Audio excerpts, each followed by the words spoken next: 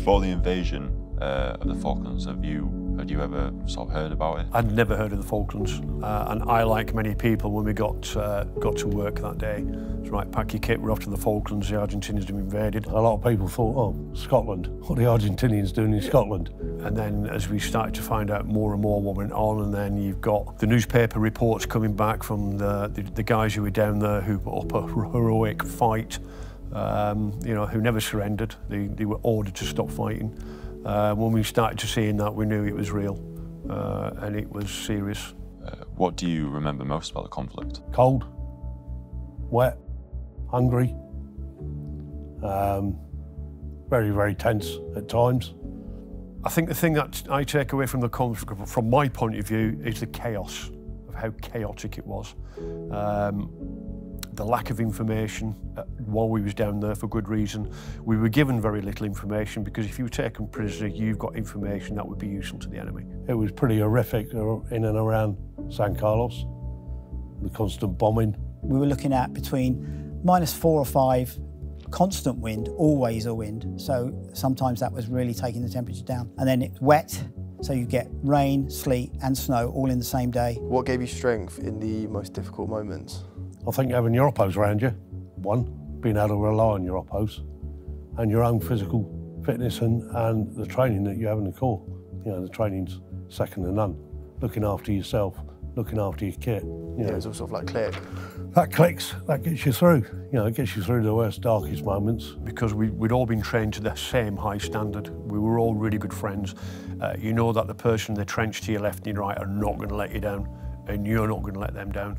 Uh, and while you are in, in control of the situation, you can, you can make things happen. Um, but when you lose control of the situation, when you can't do nothing about it, uh, it it's, it's, that's when the fear kicks in. The positivity and the belief that we would succeed was always in the people around me. Um, my team were great. I knew that we had great, great strength, and the chances were that in any kind of trouble, we'd be able to get out of it. What moments would you look back on fondly?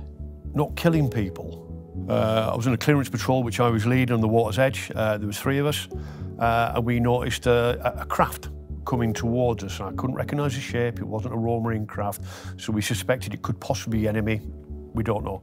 So we laid down uh, on the beach. Uh, we readied ourselves, and when the boat landed, we gave the uh, the, the, the, very typical halt, who goes there.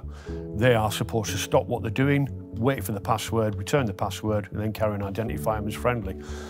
These people decided to jump on the ground and cock the weapons. Uh, so I, I popped a grenade, uh, pulled the pin out. Uh, guy next to me did the same. Something said, just, just oh, hang on, just hang on a sec. And I did the I did the command again, halt, who goes there? And they came back saying friend. So when they stood up and went over, I give this guy an almighty uh, telling off. Uh, and he said, you can't speak to me like that, I'm Major so-and-so. I went, I'll speak to you anyhow I want when I've got a grenade in my hand like that. And he went, and I went, the pin's here. So they all scattered and they all left me. So being stood on a beach at night on my own in the pitch black, trying to put a pin back in a grenade, uh, it was quite a challenge. But because I made that pause, if, if I'd have thrown that grenade and the other grenade had gone as well, and we'd have taken out our own guys, uh, my life would have been completely different. So I look back on that moment as sort of like one of the better decisions of my life. Did you have any idea what was going on in other ships or ashore, or was each ship in its own little world? I was lucky in my um, role because I had comms with the other ships, so I knew what was going on. I knew the operators, most of them, on the other ships. I had a good idea of what was going on. We had a brief idea. Uh, there, there, was some very sad sights down there. I was shoreside, not too far away from when uh, Antelope exploded. There is quite a, uh, a horrible picture of it exploding. Uh, we actually watched that with my own eyes and seeing guys jumping off the, the ship into the water to escape the flames. Uh, and then watching the ship break its back and sink uh, the next day. even gets us now. You know, that's the sort of uh, effect it can have. Yeah, but you deal with it. Yeah.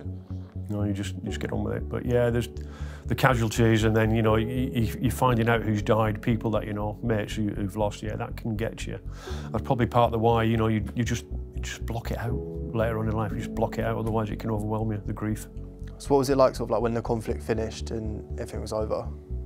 Um, once it was all over, um, we got into Port Stanley. The place was a total and utter mess. The Argentinians had left it in an awful state.